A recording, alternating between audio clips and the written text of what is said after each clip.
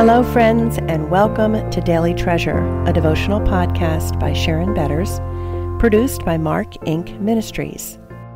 This week, our guest writer is Katie Flores. Today's devotional is called Satisfying Provision. And today's treasure the Lord upholds all who are falling and raises up all who are bowed down. The eyes of all look to you, and you give them their food in due season. You open your hand, you satisfy the desire of every living thing. The Lord is righteous in all his ways and kind in all his works. Psalm 145, 14 through 17. I really rocked it today. That is the lie I often tell myself rather than believing the truth that God is the one who has upheld me and satisfied me. God's provision is what sustains his people. This world tries to tell us that it's all up to us. We are in control. And if we only do the right things, then we will masterfully navigate this life until we don't. We can all relate to the striving we do to keep up, keep control, and keep out of harm's way. We also know the false security that we think this gives us. The disciples must have been able to relate as they watched the crowds following Jesus as he left Galilee. Matthew 14:15 shares how the disciples asked Jesus to send them away to buy food for themselves. We can't be responsible for these people, they must have thought.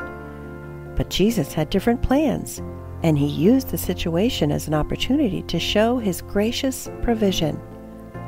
But Jesus said, They need not go away. You give them something to eat. You probably know the rest of the story where Jesus multiplied five loaves and two fish given by a little boy to be more than enough for the whole crowd. And they all ate and were satisfied. And they took up twelve baskets full of the broken pieces left over. They were satisfied. Jesus is our true source of satisfaction.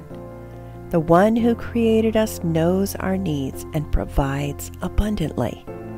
If we think back to the verses right before this section of Psalm 145, where the psalmist speaks of God's kingdom, we connect here that, of course, the king provides for his subjects. Jesus, our king, is righteous in all his ways and kind in all his works. He provides, not with closed hands, sparing resources and holding tight onto them, but with open hands. It's easy to think about physical things when we thank God for his provisions, but even greater are his generous provisions for the things of the heart. 2 Peter 1 3 says, His divine power has granted to us all things that pertain to life and godliness, through the knowledge of Him who called us to His own glory and excellence. God requires perfect holiness to be in a relationship with Him. God has provided Jesus to be our pardon. Lord, thank you for being our ultimate source of provision and satisfaction. Just as you multiplied the loaves and fishes, multiply your grace in our lives. Amen.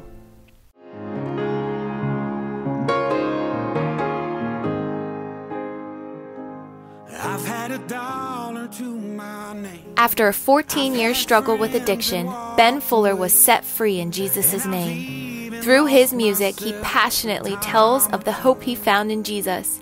And we are so excited to bring his music to Delaware on July 28th at Middletown High School through our special event, Hope is Alive. Doors open at 5 p.m., and there will be food trucks, vendor tables, and of course, amazing music. There's limited seating, so if you're interested in coming, be sure to get your ticket today.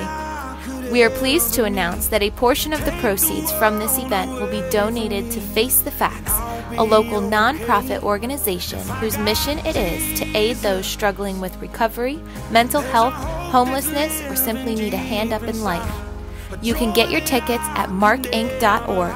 M A R K I N C dot org. We hope to see you there. I got it all.